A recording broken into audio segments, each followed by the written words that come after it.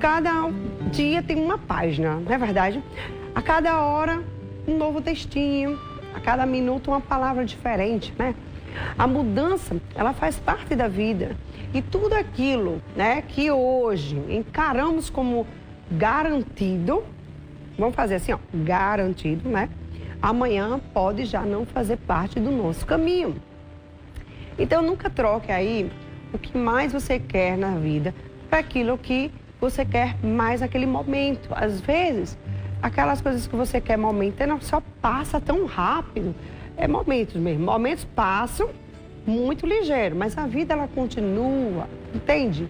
Então, queira sempre aquilo que você vai ter pro resto da vida. Não é melhor do que aquele negócio que é momentâneo? Ah, um negócio tão momentâneo, acabou, acabou, tchau. E aí? O que é que você levou de bom? Nada. Nada. Entendeu?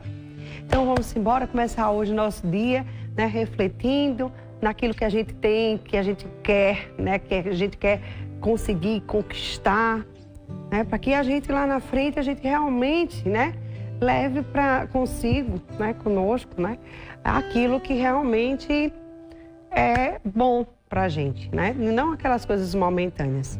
As momentâneas é como eu falei, passam rápido, ficam ali só naquele momentozinho e pronto, tá bom? reflita sobre isso.